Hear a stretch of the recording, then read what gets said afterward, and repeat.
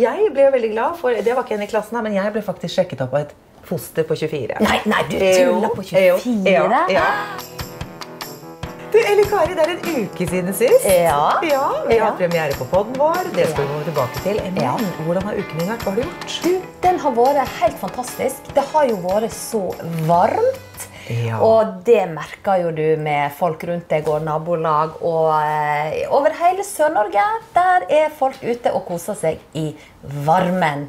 Så eh, nei, det har vært en kjempefin uke. Og så har jo jeg òg funnet opp noe helt nytt. Ja, det må du fortelle om. Ja, det kan jeg fortelle om. For eh, som du vet, Ingeborg, så er jo jeg opptatt av å være først i verden med ting. da.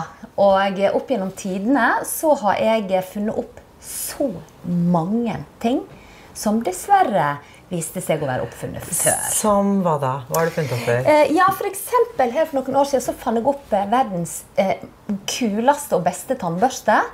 Eh, jeg eh, fant ut Hvorfor det? Jo, hør da. Jeg tenkte eh, Den der ekle tannpastatuba som alle går og liksom presser på og, drar i og sliter i og spruter ut eh, tannkrem. Så fant jeg ut ha, hva med å lage en tannbørste med en, et hult skaft? Og inni det skaftet så bare brenner du inn tannkrem. Sånn at hver gang du pusser tennene, så gir du bare tannskaftet et bitte lite push, og så får du fresh, ny tannkrem ut hver Ja, eneste gang. Det var jo faktisk kjempelurt. Det er kjempelurt, Ingeborg. Og jeg var så glad når jeg oppfant denne oppfinnelsen.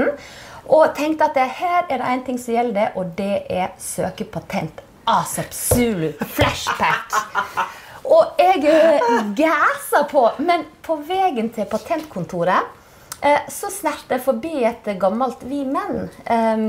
Um, det er jo et sånt manneblad vet du, med, hvor det står alt om nye ting og tang. Og det, og dette er såpass mange år siden at det var fremdeles litt inn med sånne blad og, og, og magasin hvor du blar om og ikke er på nettet. da. Og vi menn var litt spennende, Ja. sånn puppedamer. Ja, kjempespennende. Uh, og så ser jeg helt tilfeldig en liten sånn der, en liten sak i Vi menn om ny oppfinnelse. Tror du ikke det var en japaner borte i Japan, selvfølgelig? Så hadde jeg funnet opp den samme tannbørsten som meg. Jeg var jo rasende. Eh, og der har du the story of me and Petter Smart. Jeg finner opp ting, og så ved tilfeldigheter da, så bare finner jeg eh, ut at det, nei, det var visst funnet opp fra før. Men sånn har jeg aldri sett før. Finnes det i Norge? Eh, du, vet du hva? Jeg har Hjemme så har jo jeg eh, oppvaskbørster som er i det formatet. Ja, det har vi også. Ja. Det har du òg. Ja. Så bare tenk deg om. Det fins overalt. Det men det kanskje ikke kommet til Jordan, da. Men eh, det er i hvert fall kommet til tannbørstmarkedet i Japan og Asia generelt. Asiaterne, vet du. De er så Generelt. smarte. Men ellers har jeg funnet opp mange rare ting. Det kan vi sikkert snakke om eh, i, i vekevis på eh, vår. Altså podkasten bergenske uttrykket for podkast er jo poddican. Eh, som jeg har funnet opp, da. Men denne veka, og nå kommer vi er til jeg så spent. poenget. Jeg må nesten lage sånn trommevirvel. Ja. Jeg er så spent. Hva har du Eh, funnet opp? Så har jeg funnet opp noe helt nytt. Et helt nytt konsept, faktisk. Mhm. Og det eh, begynte med at eh, jeg skulle ha noen gode venninner på besøk, som også er dine gode venninner. Det er tidligere hverdag med Desta Marie Beder og Hilde Holdhus. Og de skulle komme Ja, de er kjempekoselige og veldig smarte. Og så fant jeg ut at eh, jeg skal servere dem eh, gin. Og da tenkte jeg faktisk på deg, Ingeborg, for at du er jo it-girl opptatt av mota. Ja, og gin Ja. er kjempetrendy. Nettopp. Ja. Og da fant jeg ut at da skulle jeg imponere deg litt med at jeg tar en gin der.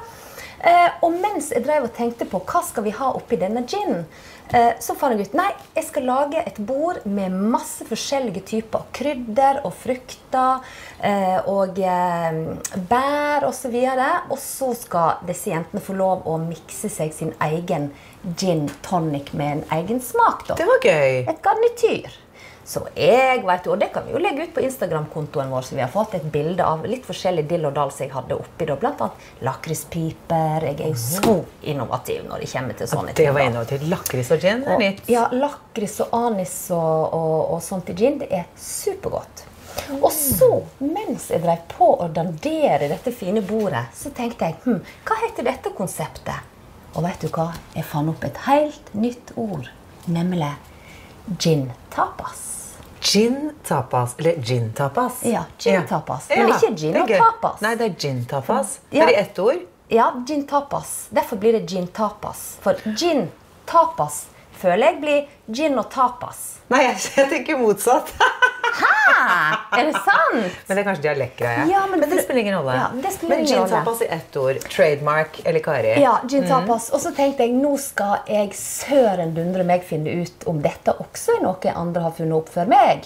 Så jeg går inn og googler, og tror du ikke det kommer opp en gin tapas i Drammen? Av alle plasser. Jeg ble jo Typisk rasende. Jeg bare tenkte damn, nå har det skjedd igjen. Nå skal jeg finne ut, på, uh, finne ut av hva dette gin tapas er for noe. For det kan jo være en restaurant, eller det kan jo være navn på en butikk, eller kanskje til og med et ginmerke. You never know.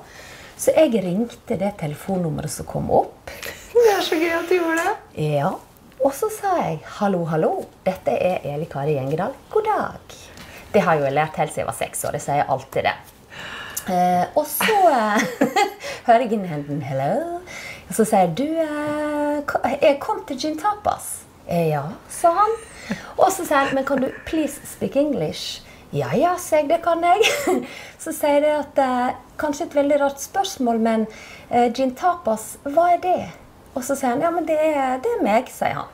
Ja, Er det en bedrift, eller er det, eller er det en privatperson? Så sier han nei, vet du, det er fornavnet mitt. Nei! It's my surname, eller surname. Hæ? sa jeg. Er det fornavnet ditt? Ja, sa han. Ja, hvor er du ifra, da? Nei, um, uh, jeg er fra Ukraina. Er du fra Ik- Ukraina? Ja vel. Men uh, uh, Gin Tapas, er det et eh, fornavn i Ukraina? Ja, det er et helt vanlig guttenavn i Ukraina. Nett sånn som Per og Pål og Espen er i Norge. Og det staves gin, Gin tapas. tapas, gin og det er vanlig forname in, in in, in, uh, Ukraina. Ukraina. Ja, in Ukraina. Og jeg eh, ble jo litt sånn tatt på sengen, da, bokstavelig talt. Så da sa jeg bare OK, that was it. Og så sier han Hæ? Skal du ikke spørre meg om noe mer? Nei, sa jeg. Jeg ville bare vite hva gin tapas var. Og så, så lo han, da. Og så sier jeg ha det. Og så ler på. Tenkte han fikk seg en latter. Det hva skjedde? Og jeg tok jo selvsagt seiersdans på stovegulvet og var så glad. For vet du hva? det var det eneste som kom opp når jeg googla gin tapas. Det var han der fra Ukraina som bor i Drammen. Pluss alle andre fra, fra Ukraina som heter gin tapas. Ja, ja, men de er jo borte i Ukraina. Men det er jo fantastisk. Hva er det moro? Men hva skal du gjøre med dette konseptet nå? Jeg skal eh, ut, utvikle det.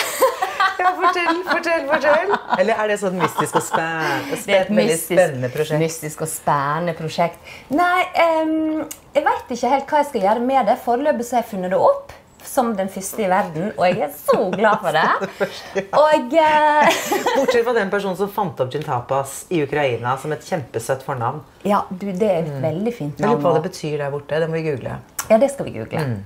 Det googler vi, Ingeborg. Men, eh, men det er egentlig det største som har skjedd meg denne veka, det er at jeg endelig fikk bekrefta Jeg tok til telefonen. Ja, det var ganske pinlig. For han trodde sikkert at jeg var sånn markedsundersøkelsesdame. Ja, ja, Men Han sa was that, was that it? Yes, sa jeg. Ja, det var det. det var. Og det ble jo veldig flaut. da. Men det var sikkert ok. May This Day. da. Han ble sikkert kjempeglad. Han ble kjempeglad og lykkelig over navnet sitt, sikkert. Det er i hvert fall den rareste telefonen han har fått. vil jeg tro.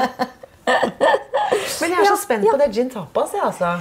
Ja, det blir gøy. Men, eh, eh, men eh, nei, gin og tapas det, fins det på internettet. Men det er jo den spanske retten tapas småmat, Ja. hvor du drikker gin til. Ja. Men en gin tapas, altså eh, Hva skal jeg si Hva eh, mener du en gin Du får en gin, med og så har du en ta et tapas Du har et valg av urter og bær og ja, for jeg så du hadde lagt ut rabarbra. og Ja, så du fra sa egen hage. Ja, det er veldig bra. Helt Veldig økologisk. veldig kult. Sjølgrodd av de snabbelabbene dine. Ja, veldig kort Um, og masse, hadde du lagt ut masse krydder. Jeg fikk jo sjokk, for som regel når, du lager, når det er bord hos deg, så er det fullt av potetgull, ostepop og popkorn. Mm. Men de hadde flytta ut bare, på sida. De hadde flyttet ut på sida Ja. av bildet, altså bildekanten. Nettopp. Ja, det var flyttet. Så da, Buff, buff, da tenker du også bringebær, blåbær, så man kan mikse litt sånn forskjellig. Ja, og så kan du ha eh, lakris, sånn som de krydderne jeg hadde. Det Ja. var svartpepper, hvitpepper, eh, det var stjerneanis, det var nellikspiker. Nellikspiker er veldig godt i rabarbraen. Og så hadde jeg eh, selvsagt eh, grapefrukt, appelsin og lime. Og jeg hadde pepper og agurk. Og- agurk oppi er kjempegodt. Ja, det er veldig, veldig Jeg gøy. synes det gjør så frisk. Så hadde jeg litt ulike typer gin òg, da. Eh, og litt ulike typer av tonica og eh, sveppes og ja. alt mulig forskjellig. Så dere tenker at du skal åpne en egen bar som skal hete Gin, Tapas, by Elikari? Ja, for da kan du komme, og så kan du bare velge urten og krydder du vil ha i ta, eh, ginen din.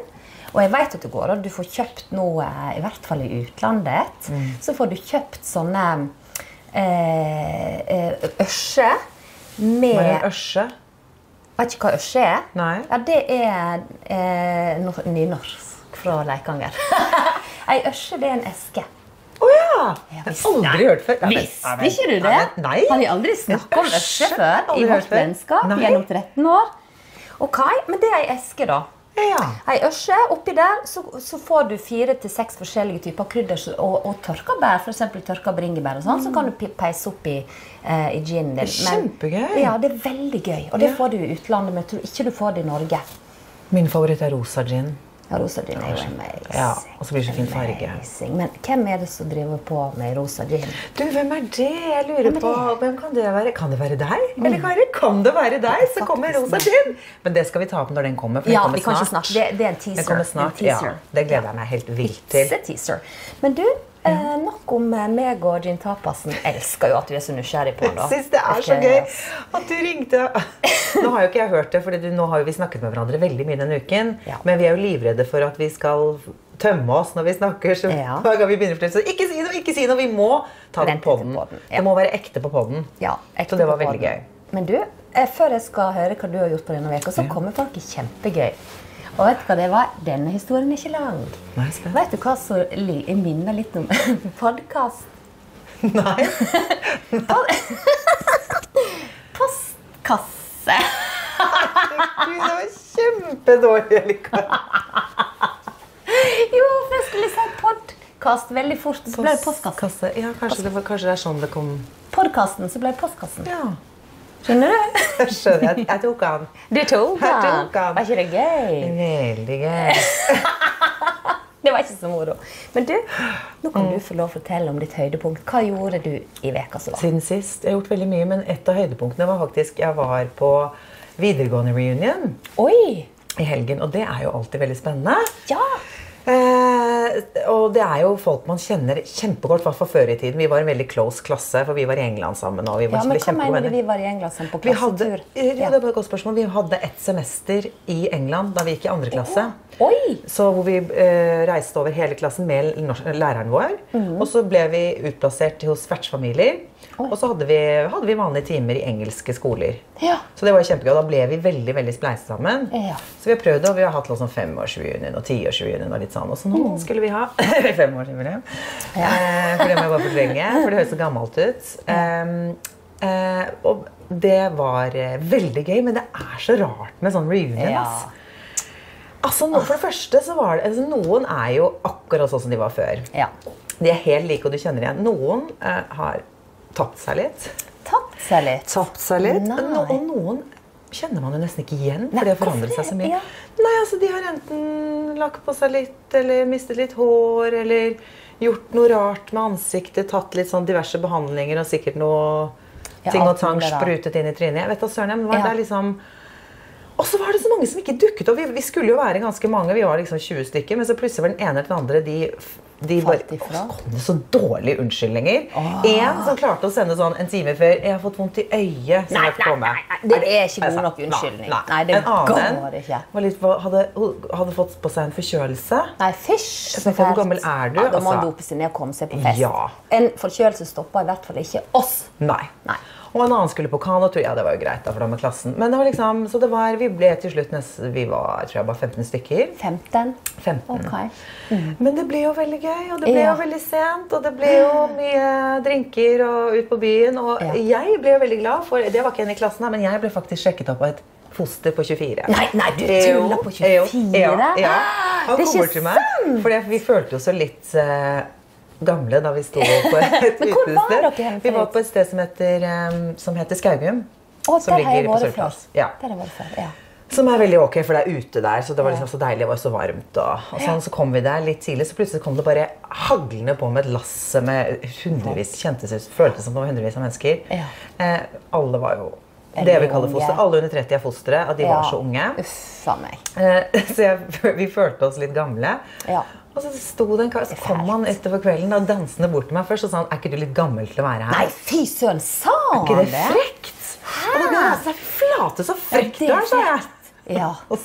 Men så sa han så visste han hvem jeg var. Oi, og da ble jeg jo kjempebusta med en gang. Så gikk jeg fra liksom veldig langt nede til å bli veldig høyt oppe i løpet av et halvt nanosekund. ja. Og så sier han jeg har alltid hatt lyst til å kline med deg. Det òg! Da ble jo jeg enda gladere. Ja, selvsagt ble du det. Men så, og så sto vi og tullet litt, og så, sa han, så begynte han med sånn Vær så snill, kan vi ikke være Så sa jeg nei, vet du hva. Sorry, veldig, det er veldig hyggelig at du spør. Takk som spør, men nei takk. Jeg er faktisk gift, og Ja. det er fristende, men nei takk. Ja. Så jeg måtte faktisk endte med at jeg dyttet han Dyttet han vekk fra Jeg måtte faktisk dytte han vekk. Skulle nesten hatt en bodyguard. Ja. Og så skal han hete alderen. Ja, ja. En bodyguard? Det skulle du hatt, Ingeborg. Ja. For altså, du er jo Altså, du blir jo rett og slett overrumpla av foster, og da må du ha Og det skjer jo hele tiden. Ja. Det skjer alltid, Det skjer føler jeg. alltid, jeg føler du alltid en eller annen sånn story når du kommer hjem fra fest, så er det et eller annet foster som har prøvd seg på deg. Det var Det kjempemorsomt. er kjempegøy! Ja. Så det, var, så det, liksom, det liksom made hele kvelden min da, at jeg ble sjekket om 24-åring. ja, det skjønner jeg. Jeg løy litt men- på alderen. da, Han skulle gjette på alderen, så senket jeg den sånn fem-seks Ja, syv, ja, ja, det er lov, det er lov. Men han, tok, Det er lov. han trodde på meg og syntes fortsatt jeg var gammel. da. Oi, oi, oi, så moro. Men hva sa de andre i uh, gamle klassen da det blir jo- 24-åringen kom? Nei, jeg tror ikke, Jo, jeg skrøt jo hemningsløst selvfølgelig til de Ja. alle sammen. Jeg bare 'Hallo, alle sammen! Jeg ble sjekket opp av han! Jeg ble sjekket opp av han! Han er 24 år!' Jeg var jo kjempe, jeg ble jo så rusa på meg selv etter det. Ja, ja, jo kjempeselvtillit. Ja, selvsagt. Ja. Så det var, det var veldig gøy. Det hørtes ut som det var en kjempekjekk kveld. Men uh, Skaugum det må jeg bare spørre om, for jeg òg har jo vært der en gang. Ja, men jeg visste jo ikke hva Skaugum var. jeg. Har du vært på, Dere har vært hos Mette-Marit og Håkon? Nei, jeg har ikke vært hos som heter Marit. Uh, har ikke stedsans. Nei, vet du hva som skjedde med det? Uh, det var det at jeg skulle mikse grilldrinker på Skaugum, fikk jeg spørsmål om. Fra Vi Menn, faktisk. Samme magasin som Tannbørsten. Og så, og så jeg eh, på flyet, og jeg hadde jo typisk meg, hadde ikke gjort så veldig mye research. Så tenkte jeg herregud, og jeg sa det til og med til noen er veldig close eh, friends at jeg er invitert til Skaugum for å mikse drinker på et grillparty. Nå står ikke verden til påske, sant? Og så setter jeg meg inn i taxien når jeg kom på Oslo. Sa jeg skal til Skaugum, sa, jeg til taxisjåføren. Hæ, gå til Skaugum? Ja, du vet til Skaugum. Så sier han ja, skal du til kongefamilien, eller skal du på den baren på Grünerløkka? eller hva det var? Nei, på Solliplass. Solli plass. plass. Og da visste jeg helt hva jeg skulle si, for da gikk det faktisk opp for meg grandiose dilemma. Jeg skulle ikke til Skaugum, men jeg skulle jo til Skaugum på Solli plass. Det var to veldig forskjellige ting. Veldig, hvem var det som hadde spurt deg om å gjøre Det det? var vi menn. De skulle lage Ja, det var det du sa, det var det du sa, det var vi menn. Ja, så hadde de ikke, de trodde, Jeg er fra Bergen og Leikanger. Jeg vet ikke at det fins en uteplass på Solliseter Skaugum. Men jeg vet at det er en plass som heter Skaugum i kongefamiliens bolig. Så jeg trodde jeg skulle dit. Jeg skrev Jeg måtte jo bare Jeg lå veldig lavt under radaren mange dager etterpå. da, når Det var veldig pinlig. Vi menn og kongefamilien, det er liksom ett. Jeg vet ikke hvor det tok det fra, men uh, han ble liksom sånn satt ut, da, han taxisjåføren. da. Men så skjønte jo jeg skjønte problemet. Jeg tror jeg skal til den der uteplassen. Jeg tror ikke jeg skal til Mette-Marit og, og Håkon. Men det var litt gøy.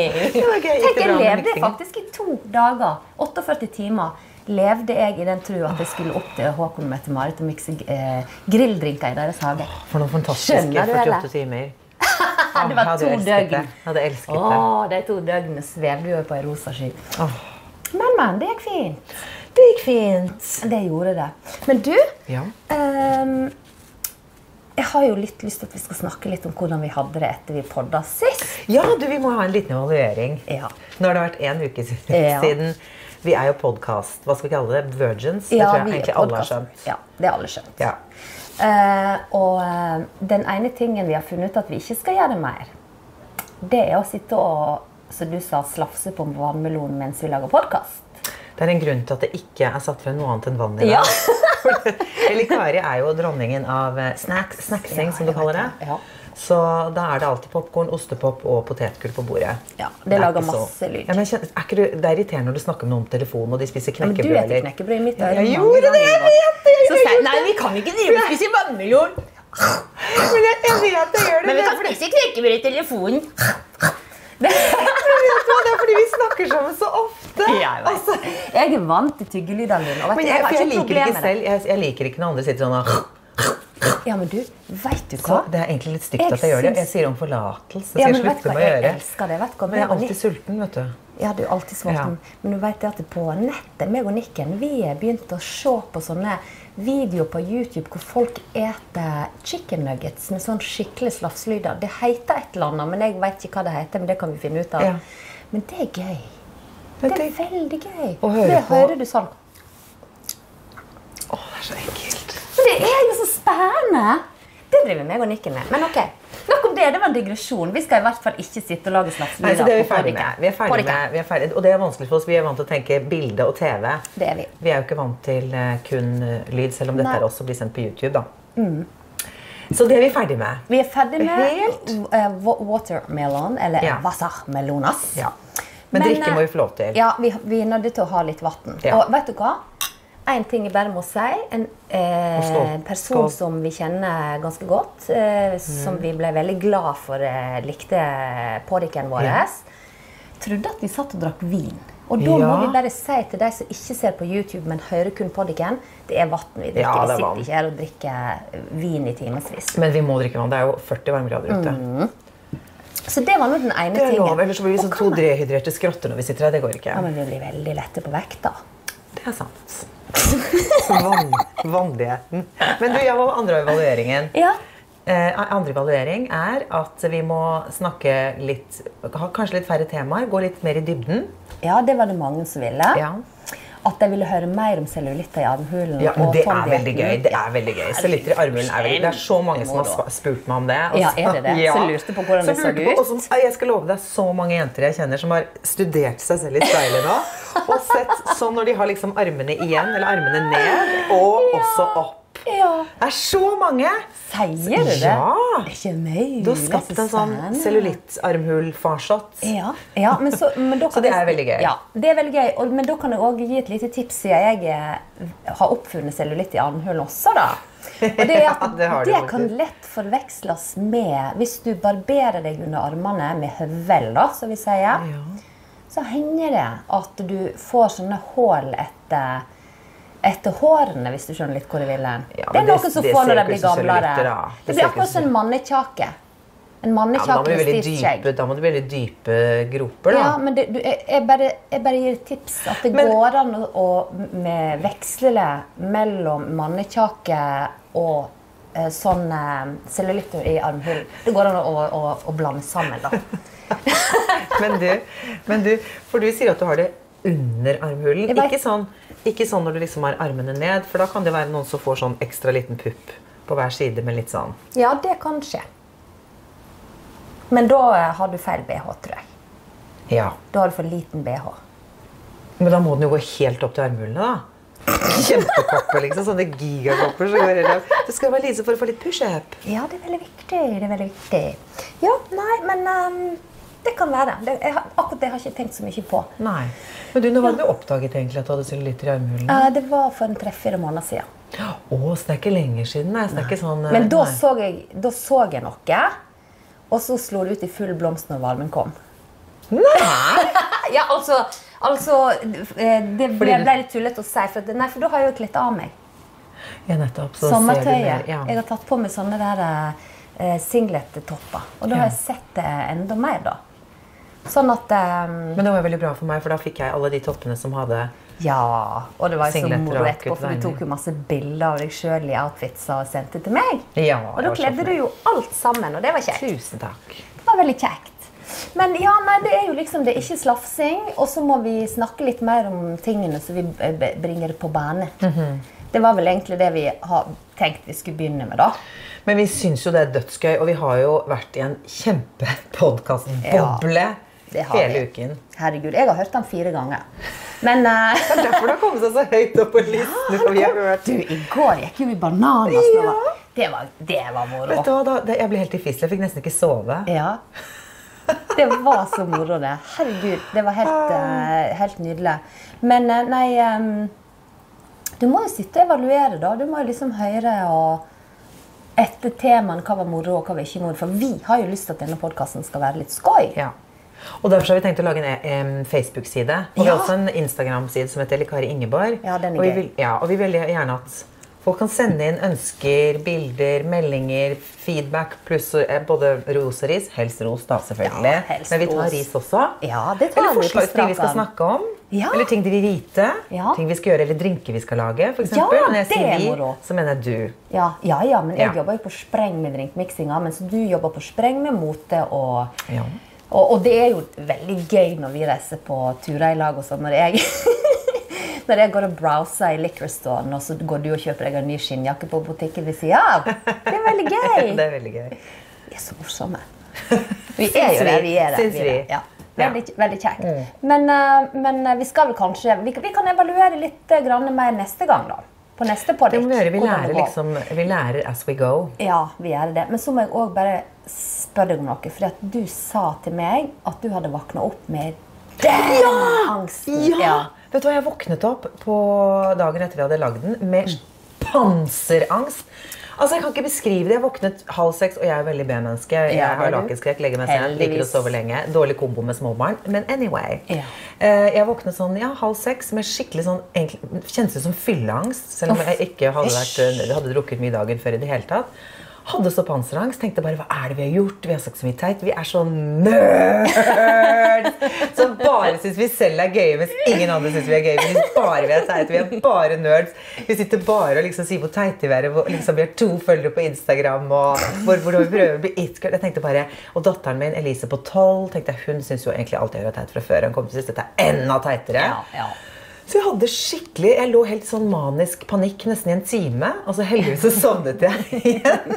Og så våknet jeg, så var alt greit. ja, da har du Men det var helt over forferdelig. det. Den der, Ja. du vet, den der fylleangstfølelsen. Jeg vet ikke om du får det noen gang. Jeg er sånn skikkelig fylleangst. Hæ? Hva du snakker om? Har ikke hørt om. Eh, På Leikanger er det ingen som får fylleangst. Aldri hørt om det før. Men jeg kan si at jeg har kjent på følelsen av at jeg har angra på noe. Ja. Og den er ikke kjekk. Nei. Så det er sånn sikkert. Det er så deilig for deg. Du har aldri fylleangst. Nei. Men vet du hva? Det, det går ikke an å angre på noe og gå rundt og angst. Du får ikke gjort noe med det.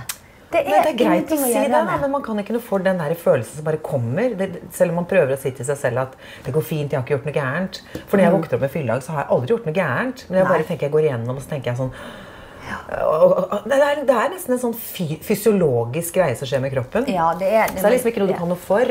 Nei, det er en slags eh, kortvarig eh, speed-depresjon. Ja, det var en god, god oppsummering. Veldig god oppsummering. Nytt ord kanskje oppfunnet her og nå, faktisk. Ja, Eh, det, ja, kortvarig speed-depresjon. Det tror jeg eh, kan beskrive fylleangsten ganske godt. Rett og slett. For det er en ting du gjør hele tiden, oppfinner ord. Det for så vidt jeg også, men du er sånn som gir bort ordene dine. Jeg gir det vekk til alle. Og hvis Ja. noen elsker det, sånn som f.eks. fakta mortale. Ja. Det er jo et ord jeg har funnet opp, som går som en færsott eh, rundt omkring i landet. Men det sier mannen din som at han har funnet opp. Jeg har gitt det til han, og jeg har sagt at han skal få lov å si det hans. Raust. Veldig raust. Som en slags bryllupsgave. Ja, og- ja. Det, er fint. Og det er en blanding av eh, salto mortale og fakta. Fordi at eh, fakta er alltid viktig. Det skal vi aldri slumse med faktaen. Men en salto mortale kan jo du på en måte gjøre på veldig mange rare måter hvis du vil. Og eh, du slår salto mortale hvis du er veldig glad eller veldig sprek. Så hvis at du virkelig skal drønne til å si at dette her er faktisk norske jordbær, da, så kan du jo øke på litt betydningen av ordet med å si dette her er fakta mortale. Norske jordbær. Yeah. Men du tenkte, men da du fant opp det ordet, så liksom satt du sånn og analyserte det og tenkte, tenkte på den sterke betydningen av ordet, eller av de to ordene sammen? Jeg tenkte mest på at jeg syns at, eh, at ordet saltomortale er veldig eh, lite brukt. Og så er det et kjempemorsomt ord. Og sånn artikulasjonsmessig, når du sier eh, Når du sier f.eks. arabisk flikkflakk eller saltomortale, da, så bruker du alle musklene i, nei, i fjeset ditt. Så da trener du ansiktet, skjønner du? Ja. Salto mortale. Skjønner du? Det er gøy. Ja, for jeg tenkte mortale. mortale kom fra på en måte mer sånn mor- mort, og det var veldig sånn seriøst. Ja, at det kom fra, ikke fra salto mortale, men fra et annet ord. Ja, men det er det. Dette her var jo bare en historie jeg fant på. Jeg har ikke skjønt det. Snakk om, vi har, denne podden handler om 10 000 digresjoner. Ja. Vi begynner med noe, og så er det, men sånn er jo vi når vi snakker sammen. Ja, vi så blir det jo eh, 10 000 digresjoner. Ja, og, men jeg skal si folk deg at tilgi. det, ja, det må folk bare tilgi. Men vi må jo bare være oss sjøl. Ja, Eh, og jeg fikk en eh, Det var en som spurte meg eh, Bruker du og Ingeborg å sitte og skryte sånn av dere sjøl hele tida, sånn som dere gjorde på podkasten? Skrøt ved oss selv. Åh, det er veldig unorsk. Det var veldig, Det unorsk. unorsk, Og da sa jeg ja. Vi skryter jo alltid av hverandre. Ja, vi booster hverandre skikkelig, og det er viktig. Mm. Vi er jo vi er jo blitt enige om at vi er våre, vi er våre aller største fans. Ja, det er akkurat det. Og det er viktig. Man må ha noen som heier på seg, da. Ja, Vi må ha en heiagjeng. Og det der det syns jeg er så viktig eh, i forhold til resten av dette landet. Mm. Til alle som nå, som du sa, 100 000 lyttere som sitter og hører nå på podcast. Hundretusenvis av lyttere. Hundretusenvis. At det å gi hverandre et kompliment, det Mm. er kjempeviktig. Og det, er, det gjør det godt både for den som får det, og den som gir det. Ja, og det skal vi oppfordre til. ikke du enige? Jeg er jo helt enig. Jeg syns det er så mange som er så dårlige til det. Jeg, jeg gir alltid jeg gir kun komplimenter. Jeg, jeg mener Jeg sier aldri eh, noe pent hvis ikke jeg mener det. Da holder jeg heller kjeft. Ja. For det er viktig, Ellers blir det for låst. Da blir det jo da blir det ikke noe hyggelig. Ja, Da blir det veldig også- overfladisk. Ja, ikke sant? Og så er det så hyggelig å gjøre det, for man gjør seg selv så glad også. For da ser man at man gleder den andre personen, og da blir jo jeg glad. Ja, Så det er jo, det er jo bare vinn-vinn. det er vinn-vinn. Folk må være litt rause mot Mm. hverandre skryte litt og gi hverandre kompliment, syns jeg. For det, Jeg hadde jo en episode her, jeg har hatt flere selvsagt, men her hadde nå jeg en som jeg lyst til å ta fram. Da. Det var, sto i eh, security-køen på flyplassen, eh, og så eh, kom det en amerikansk turist med den mest fantastiske T-skjorta med sånn her karikatur av kongefamilien vår. Og det var så gøy! Hvorfor skal den amerikanske dama gå rundt med den? Kanskje typisk amerikansk, da, men den var rosa. Og så var det da med, med veldig morsomt maleri av disse fire. At dette var jo Märtha og kong Haakon og Nei, Haakon, kronprins. Håkon Magnus og, og eh, Sonja Harald. Uh, og, og det var så gøy. Og da sto jeg i køen der, og så sier jeg til henne for ei fantastisk morsom T-skjorte du har. Så ble hun kjempeglad. Ja. Men de nordmennene som sto rundt, trodde jo at jeg var en sånn fremmed fugl Ja. fra fjernere strøk. De liksom så på meg akkurat som jeg skulle hatt skabb eller noe sånt. Og det irriterte skabb? meg. Jeg har ikke skabb. Jeg er bare snill. Ja. Ja, nettopp. Nei, Det kan alle lære av. Det er kjempeviktig. Mm. Det, er, eh, det er veldig viktig, og det er veldig unorsk. Og det er viktig å ikke være så norske hele tiden. Nei. Være rause. Mm. Være hyggelige. Gå bort til fremmede og si at du er fin. Mm. Si det er fin kjole eller fin på håret eller fin topp eller hva som helst. Det er så hyggelig. Det er kjempekjekt. Det må vi begynne med. Og så var, eh, kan folk bli litt flinkere å ta imot komplimenter òg. For noen blir jo litt flaue hvis de får Ja, et de gjør det. Men der har jeg lært. Jeg lærte av en venninne, Marianne, som er barndomsvenninne for 100 år tilbake. Eh, og hun har lært meg å si at takk, det var pent sagt. For Mm. Ja. man skal ikke si, for det er teit når folk, mange sier ja, ikke sant? Det syns jeg er teit. Ja, ja, det er teit. Eh, eller sier de nei. Det er også Ja. teit. Og den er gammel, ikke tenk på det, Man skal anerkjenne at man får et kompliment. Mm. Og da er det veldig fint å si takk, det var pent sagt, for det er hyggelig å få et kompliment. Og det er pent å si. Og da sier man verken ja eller nei, selv om man kanskje innerst inne er enig. Så bare anerkjenner man det på en hyggelig måte. Ja. Uh, og det var da ukens oppfordring. Apropos oppfordring, så må vi altså snakke om avslutningen. For den syns jeg var skikkelig klein. Men det var jo en, det var jo en mening for det var en mening at Ja, vi sa det vi sa. på podden. Ja, på podden. Ja. Fordi at jeg er jo kjempestor fan av Ellen DeGeneres. Ja, det er vi. Eh, og hun har jo alltid en sånn fast hilsen eller fast avslutning på programmet. Hun sier alltid 'bye bye be, and be kind to one another'. sier hun. ja. Uh, og siden vi sammenligner oss rett Selvsagt. Vi er på hennes nivå. så fant vi ut på forhånd at ja, vi skal lage en sånn fast liksom Du skal si 'skål, god helg', Ja. og jeg skal si 'å være snille mot hverandre'. Men det, det hang så jækla i løse Ja, luften det hang i løse at jeg luften. ble helt, jeg ble helt klam eh, både her og der da jeg, da jeg hørte det. Det var så teit. Skål, så jeg bare å være snille med hverandre. Det, det, Ja, hang, det, hang, det, hang, det hang ikke på greip. Nei, det hang ikke på greip. Men, Så den må vi øve litt mer på. Den må liksom komme litt mer Den må vi jobbe litt mer med. ja, vi må på en måte jobbe den inn. Vi må, Ja, vi må bake ja, den inn i, På en naturlig måte. Litt sånn som Ellen når hun sier det. For det er så fint. Da tenker jeg, å, da sitter jeg igjen og tenker jeg Ja, det var en fin oppfordring, og det, det skal jeg ta til meg. Ja, For det er du. Du er snill mot de andre rundt deg, og det skal folk være. Ja, og det er viktig. det- det er kjempeviktig. Men det er viktig. Ja. Så den må, vi, den må vi jobbe litt mer med for å få en eh, naturlig Ja, og For vi har ikke tenkt å slippe han. Vi må jo oh, nei, alltid la ting få leve litt. Ja, ja, ja. Men hvis det blir skikkelig kleint på sikt, så kan det hende vi må finne på noe nytt. Men foreløpig så tar vi det på den måten. Det gjør vi. Øh, Så det gleder meg Og veldig til. så ble vi enige om at vi skulle ha en fast spalte. Og den faste spalten er eller Karis drinker. Ja. Og den har jeg fått kjempemye god tilbakemelding på. Folk elsket eh, drinkene dine. Eller altså, vi, at vi har en fast spalte, og at det er drinker. Ja, så I og kjekt. med at det er fredag, det er helg, Ja. og- og du Ja. er kjempeflink til å lage drinker. Ja, jeg elsker å lage drinker. Og det gir meg da overgangen til den faste spalten. Eller Som er- karisk eh, Nei, ekings. Ekings. vi bruker å kalle oss for eking. Det er jo fordi at vi har tatt initialene våre. Ja. Eli Kari. Ja, Det var ikke helt rett å si initialer, for det er jo ing. Det er jo dine tre første bokstaver, og så er det mine to. nå. Og eking. Ja, Det er vi Så- veldig fornøyd med. Vi kan kanskje kalle den spalten for Ekings helgedrink. Ja, det var fin. Var ikke den fin? Jo, den var fin. Det blir fast her og nå. Ja. Check. Fast her og nå. Eh, og, og, så har vi veldig lyst til at den drinken skal på en måte ha litt relatere seg til oss også. At den har en historie. Selvsagt. Det er viktig med en historie. Da blir alt eh, mye mer personlig. Og, Ja, og som jeg bruker å si, Ingeborg, når du skal mikse en drink eller lage mat, uh, eller tilberede hva som helst til andre mennesker, så skal en alltid gjøre det med et lite dryss av kjærlighet. ja, masse kjærlighet er Ja. viktig. For da blir det alltid vellykka. Ja, og det er derfor dine drinker alltid er så gode, for du legger så mye kjærlighet i det. Veldig masse Og hvilken drink skal du lage i dag, Elle Kari? Ja, du, Den er inspirert av at It-girl eh, Ingeborg eh, har funnet ut at eh, gin er Kjempetrendy. Kjempetrendy. Ja. Uh, og da tenkte jeg da kunne det være en miks uh, i forbindelse med at jeg har jo tross alt uh, tatt bartenderprøven og gått opp i eksamen i Singapore Sling. Nå har jeg så mange spørsmål. Ja.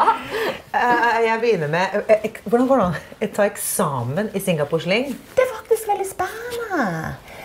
Det er sånn at du får en Du har jo en teoretisk prøve, og så har du en praktisk prøve. Sånn at Først så må du fortelle litt om alle råvarene som er i en Singapore Sling. Så må du fortelle om historikken til Singapore Slingen. Og så, etter du har gjort det skriftlig, så går du inn bak disken, og så mikser du en Singapore Sling. Men jeg føler at det skriftlig blir veldig kort. da. Er det så mye å si om den? Og Å, masse. Masse. Vet du hva? Jeg kan fortelle litt om historien til Singapore Sling. Den ble oppfunnet i Singapore, sjølsagt, Oi, det var en bombe! i 1915. Oi! Ja. For Dette er skikkelig 70-80-tallsdrink, føler jeg. Den var veldig populær på 70-80-tallet. ja, for jeg husker foreldrene mine de drakk Singapore Sling. mamma det. Det var veldig kult. Ja. Og, men det er jo som det er i moteverden. Alt går i bølgedaler. sant? Ja. Så det er veldig inn med klassiske drinker en liten stund, og så er det helt ut, for det kommer masse andre gøye produkter på markedet. Og så blir det noe annet kjempe inn, og så går det i bølgedaler. da. Men 1915 så ble den oppfunnet av en bartender i en bar som heter Long Bar. På et nydelig hotell som heter The Raffles Ja, det hørte han. i Singapore. Ja. og vet du hva? Der burde Eking reise. På en slags studietur Yes. til For det hotellet er så nydelig. Et stort, flott trehotell. Det, det er bare Ja, men Du har vært helt- med i sånn, eh, i, sånn, eh, i eh, Agatha Christie-filmer og sånn. Ja, det er helt Ja. nydelig. The Raffles. Det er helt nydelig. Og i andre etasje der så ligger det en bar som heter Long Bar. Og på 1915-tallet, eller 1920. århundre, da, så var det slik, Ingeborg Det er jo rart å tenke på for oss, men det var slik at eh, damene fikk ikke lov å drikke drinker med menn. Eh, og en fikk heller ikke egentlig lov å drikke eh, brennevin, altså whisky og, og gin og sånn, i offentlighetens rom. Og da tok eh, han bartenderen i Long Bar, som har Ngamikibu, heter han, noe sånt. Det kan du jo legge ut på faceren, da. Men eh, jeg, har jo navneafasi og husker så dårlige navn og uttaler ikke singaporske navn rett, men noe i den duren der. Han fant ut at det, så fælt det med damene. Damene de må drikke eh, De får ikke lov egentlig å være der og drikke. Og hvis de kommer, så får de kun drikke juicer. Og det er for så vidt kjempekjekt. Det er det er ikke noe galt i. Men da ville han utvikle en, eh, drink som var jusa i, sånn at damene også kunne eh, ta seg en cocktail i lag med mennene. da. Så det er bakteppet for at den Ja. så dagens lys i 1915. Og da eh, For en oppfinnelse. Ja, Det skulle du ha funnet opp. Den Men det er allerede funnet opp. Den er Det kan vi slå fast. Men, men det er den historiske greia. Og så har den jo variert litt. Alle har jo sine egne vrier. Jeg skal jo ha min egen vri på denne. Ja. Men når jeg gikk opp til eksamen, så eh, eh, miksa jeg jo den sånn som den var opprinnelig, da. Eh, Men så må jo vi også, det er historikken. Så skal vi komme tilbake til ingrediensene for Ingeborg. Du er jo min handlejente når vi skal mikse drinker i det som jeg kaller for Ekings cocktaillaboratorium. Ja, det var veldig bra ord, syns jeg. Fins det? Nei, vet ikke, men mulig et nytt Ja, det ord. bra laboratorium. Ja, for det er jo Ja. det. Det er jo veldig avansert. For du sier jo, du k- sier jo at man bygger opp en drink. Det er fremmedord for meg. De få gangene jeg lager drinker, så skvelper jeg opp en dash av det og dash av det. og dash av det. Så, rrr, rister jeg det, eh, så liksom bare rører jeg det sammen. Ja. Peiser oppi noen isbiter. Ja. Og smeller opp et sugerør. Og så Ja. syns jeg det er kjempefint. Jeg. Ja. Men det, sånn er det ikke. Nei, det er ikke helt sånn. Det er, del, eh, det er faktisk en del regler som går på teknikk når du mikser Ja. drinker. Eh, mm, og det skal vi også snakke om seinere. Ja, Vi kan ikke ta sånn alt i dag. stirred og sånn også. Det er jo helt Shaken not stirred, Men la oss ta det bygge, byggeteknikken. Altså, det handler jo om at du skal bygge ingrediensene i glasset. Du tar et highball-glass som oftest, eller et tulipanglass. Mm. Og så bygger du først isbiter. Så bygger du da eventuelt brennevin, eh, juicer, hvis du har shaka noe, hvis du bygger det lag Hvis du har sikkert sett i Syden, eksempel, På 80-tallet så hadde de disse her drinkene som var gule nederst, grønne i Ja, midten, blå og røde. Ja. Og så fikk du paraply oppi. Ja. Så å bygge noe i glasset, det betyr at du heller det hver for seg og bygger stein på stein på stein opp. da. Det er å bygge en drink i glasset. Men så har du jo shaken, sånn som Singapore, eh, Singapore Sling. Den skal shakes. Ok, jeg har faktisk en shaker. Så Det er veldig proft. Ja. Men, eh, Men når du skulle ut og handle dette Ja, her, Ingeborg sto, hele Bekkestua Pol sto jo opp ned og på hodet for Eking. For jo, jeg kom inn med den listen. Jeg visste ikke hva, skulle, hva det var engang. Så jeg bare sa jeg trenger det her. Ding, ding, ding. Ja. Og de hadde bare den ene tingen. Det var kontrør, Resten hadde de, var ikke å oppspore. Så de, var, de er kjempesnille og så service-minded. Og jeg fikk to stykker til å hjelpe meg. Ene satt og googlet, den andre det og løp rundt. Og da kunne de si at de hadde det kun på Grünerløkka i hele Oslo. Oi. Og det, da, jeg gadd ikke å reise helt bort dit, men si bare hvor, hvor trendy og hvor trendy vi er. Det er så trendy på Grünerløkka. Ja. Ja. Det Eh, det. Det kunne bestilles, da, men det tatt altfor lang tid. Så da måtte vi faktisk ty til at det ble Airborne fra Bergen av Ja. Eli Kari, som eh, smalt det oppi sjampoflaskene Ja. dine. Eh, og det kan jo en òg få med seg hvis en går inn på Instagrammen vår eller noe Ja. sånt og ser. Men nei, vet du hva, du ringte til meg og sa vet du hva, Elkari, nå har jeg fått alt. Men jeg får ikke tak i Dom Benedict-likør. det er en uh, appelsin-sitruslikør. Og så får jeg ikke tak i Cherry Herring, som er en uh, ordentlig sånn 70-talls Ja, for det også liker mamma. Ja. Veldig søtt. Kjempegod. Ja. Også angostura, som er en sånn der krydder... Urt, nei, ikke krydder, det er urte, en slags urtebrennevin. Og det har jeg faktisk. Åh! Det har jeg. Nei, men jeg har det tatt med det også. Det. Men nå skal du få se her hvordan jeg gjorde dette. Ja, det må du vise. Ja. Det må du vise, så må du forklare for lytterne. Ja, nå skal vi se. Oppi denne vesken her, da. Så sliter du også frem verdens minste lille pose. Ja. Her skjønner du. Som heter Travelers reiseflaskesett. det. Det er så proft. Det er så proft, vet du. Fordi, og grunnen til at jeg ikke tok med meg alle flaskene, det er jo fordi at jeg reiser jo aldri, Aldri. med bagasje som må sjekkes inn. Nei, Så det er varemerket ditt. ditt. Det er Aldri, varemerket mitt. aldri sjekker igjen. Så det jeg har her, da, Det er jo Det da er sånn eh, ampuller med Det er liksom ampuller med, med, med sprit, rett og slett. Ja. Det der er da eh, Oh, appelsinlikøren som kan lukte godt. det lukter godt. Det sånn. Og dette er Cherry Jeg er på Herring. parfymeflasker.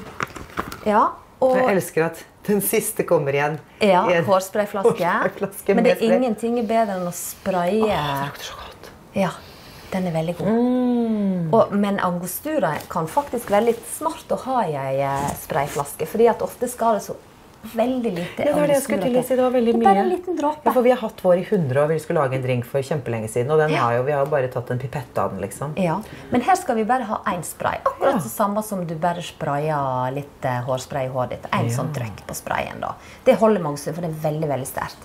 Men den er helt svart på farge. Og så kan jeg si at hvis en skal mikse noe med angostura, så må en være veldig forsiktig og ikke søle, for det setter eh, farge som ikke går vekk. Oi.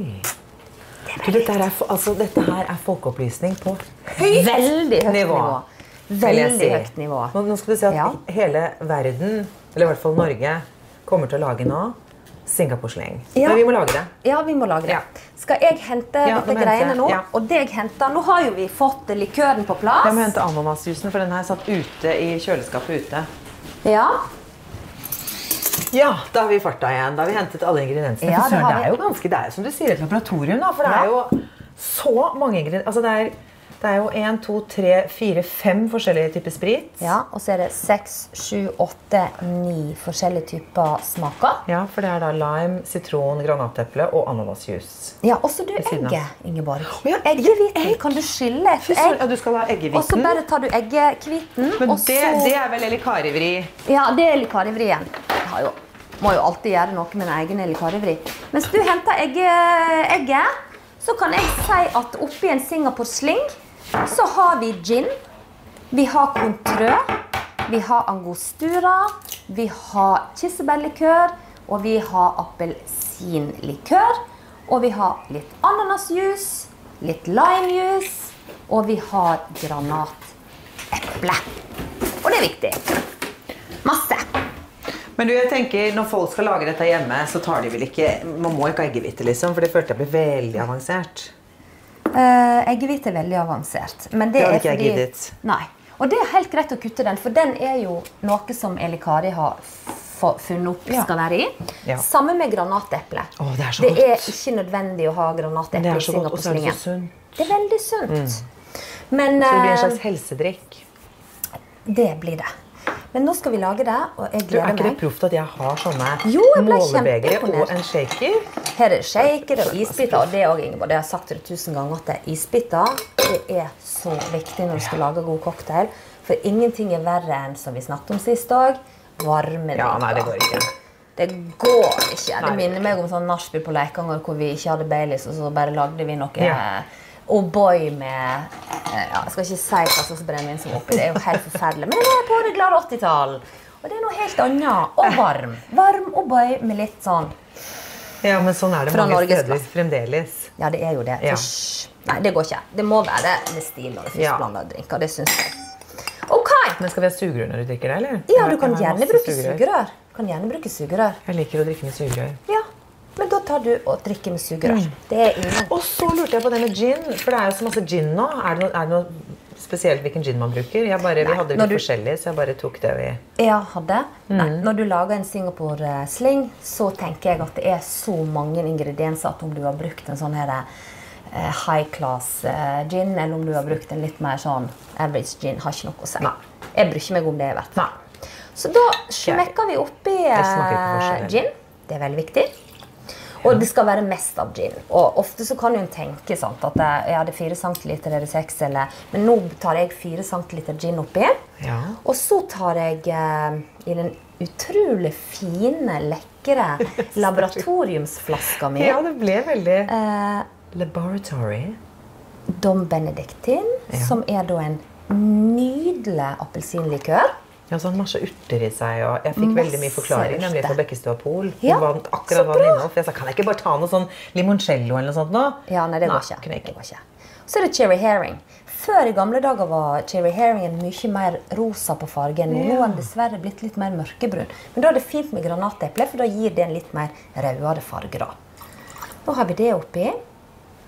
Og så kommer angosturaen, og det er jo gøy når du bare kjører litt angostura ifra eh, hårsprayen. Sprayflaske. Oh, veldig spennende. Kanskje det blir en ny oppfinnelse også, at alle heller det på Ja, hadde ikke det vært moro? Og så er det limejuicen, og jeg bruker alltid fersk lime. Så nå bruker jeg oppi her nå, så smekker jeg i gang en Jeg har sånn eh, limepress òg, men du trenger ikke det. Nei, det går fint. Bare gjør det sånn nå. Og da bruker jeg en halv lime. Jeg skal hente papir til deg. Ja. Det var fint. Da bruker jeg en halv lime i hver, ellers så blir han så sur. Og så må vi ha litt kontrø. Og kontrø er jo en sitruslikør. Som en ofte bruker i f.eks. Eh, margarita og sånn. her kommer det gøye sugerør. Vi gikk glipp av kontrøen. Kontrø Ja. er jo sånn typisk margarita Ja, Likør, sant? kontroll er godt, syns jeg. Ja, det er kjempegodt. En sitrus. Og så hiver jeg oppi ananasjuice. Og her har du kjøpt en ordentlig god ananasjuice, Ingvar. Jeg tør ikke noe annet vet du, når du skal um, Og så må du hente um, sodavannet. Du skal Ja. toppe med soda. Ja. Det må vi ha. Veldig bra. Og så er det da rett og slett å smekke oppi eh, granateple. Og granateple er jo kjempegodt. Nå blir det litt bråk, da, for jeg må lage det på brusmaskinen. Ja, men det går helt fint. Litt bråk i bakgrunnen, eh, Marie. Det, det tåler vi. Ja. Åh. Du, det var veldig uh, sp spennende lyder fra kjøkkenet der ute. Veldig spennende. Se her nå. Her.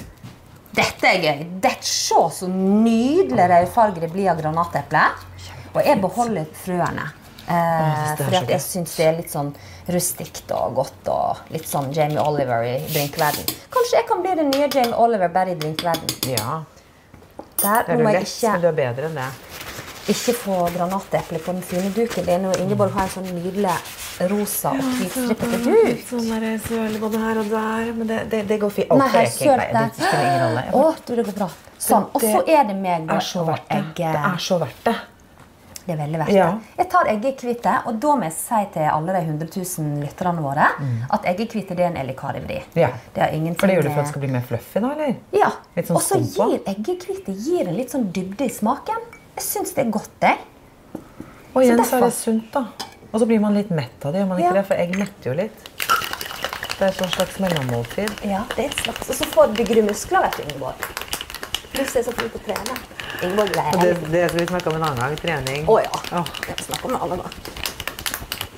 Og nå sjekker jeg. Åh, det er så moro. Nesten som å føde en baby når du skal drønne ut uh, the drinks i glasset. For å se på fargen og konsistensen. Men se her så fint det blir med en gang du har Ja, nå får den sånn Singapore-slingfarge. Ja. Nå Den er har litt sånn oransje i fargen. Ja. Men du kan jo, du kan jo bruke litt mer syntetiske eh, håper jeg, likører da, som gir en sånn knall, knall rød farge. Men det er ikke den opprinnelige Singapore-slingen. Den skal være en cherry herring, eh, cherry herring eh, farge. Og så har jeg tilsatt litt eh, av den eh, granateplen. For jeg syns at etter jeg endra fargen på cherry herringen, så er den blitt for mørk. Ja. Ja, Og der har vi det. Så er det soda på toppen. Soda på toppen, som du fyller opp. Hvor mye er helt opp til toppen? Veldig bra, Ingeborg. Sånn, tenker jeg vi sier. Sånn, så skal så skal du få ha et sugerør. Ta et som er litt sånn Jeg fluffy. Et gøy, et gøy sugerør med litt sånn Og når det kommer til med garnityren, så er det- Så vi får litt sånn sydenfølelse, for nå er det sydentemperatur ute. Ja. Men du, den um, kan jeg få smake? Jeg liker alltid å smake på den ja, før, kan du. eh, Det kan du. før jeg eh, håper å si gjesten min, sånn at jeg ikke så jeg, Og det var jeg veldig proff. Nå tar du sånn som bartender gjør, hvor du tar et sugerør og så Å, fy søren, når vi må til Singapore. Altså. Ah, til Singapore! Du, du har litt sånn granateple på Ja, ja, det er helt sikkert. Det er veldig, det er det det er veldig viktig at det vises til fjeset hva det er. Nå skal jeg smake. Åh, den var kjempegod. Men så, så god har ikke Singapore-sling jeg har smakt før. vært, Altså. Den var kjempegod. Takk. Den er så godt den er så frisk uten at det er for søtt. Ja. Den var supergod. Men kjenner Perfekt du drink på i varmen. skummet og Ja, dybden? kjempedeilig. Nå er det en kjempefint skum på Singapore-slingen til, til Ingeborg, og det er den elikari-effekten. At, eh, at du får en mer fluffy og mer dybde i drinken. da. Det var innmari godt. Du må lage en til deg selv. Ja, for nå, det Fy søren, det var godt. Grunnen til at jeg ikke lagde to i slengen, var for at det- shaken var litt liten, men den var veldig søt. Så jeg måtte lage en Mm. i slengen. Neimen, så moro, da, Ingeborg! Det var Dette fantastisk. er gøy! Ja. ja. Kjempe. Den, den Jeg er så glad for at du likte Singapore. Ja, nydelig. passer det jo litt med tanke på at vi skal jo ha et møte i Singapore om et par uker som er veldig veldig, veldig Ja. spennende for hele verden. Og Ja, hva er det? Med Trump. Ja. Og da skal Marie, hun som filmer oss Hun skal dit og Men det skal overvåke. Eki også. Vi blir Ja! med og podder live fra Singapore. Kan vi ikke det, Marie? Eh, Kan ikke Dagbladet spante en liten tur til Eking? Vi podda live med Trump. Du, Du så, kunne jo, sånn, eh, så kunne jo Trump sandkortet. og, Trump og Kim, Kim Jong-un fått seg en Singapore Sling made by Eli Tenk, da Kasha. blir det fred i verden med en gang. Peace in the world med en Singapore Ja, sling. men apropos det, eh, før jeg glemmer det. Det er alltid en mulighet til å lage en virgin-versjon av en drink. Så en Singapore-sling kan også lages uten Nå tar du da med ananasjus og, og, Ananasjus, og masse granateple, masse lime, eh, litt sukker. Ja. Ja, Så det er, ja, det er ikke noe problem. Nei, det er bra. Nei, det er viktig. Kjempekjekt. Men Ingeborg, nå kan vi gå all in Ja! på avskjedssignaturen oh, ja. signaturen Jeg var mer klar for å ta meg en sup til, jeg, da. ja, da. ja, ja, det må vi. Det må vi. For det var skikkelig godt. Men ja, avskjeden Jeg mener Ja. signaturen vår. Signaturavskjeden vår ja. med oppfordringer og Ja. så videre, som skal være fast. Med moral og med, Med god følelse. Moral og etikk, vel, Og som plakat og alt Ja. som fins. Og da bare sier jeg skål, Ingeborg. Ha ei kjekk helg. Og da sier jeg vær snille med hverandre. Vi må jobbe litt mer inn, merker jeg. Ja, det må vi. men det går bra. Vi klarer oss. Vi er fortsatt ikke Bedre og bedre dag for dag.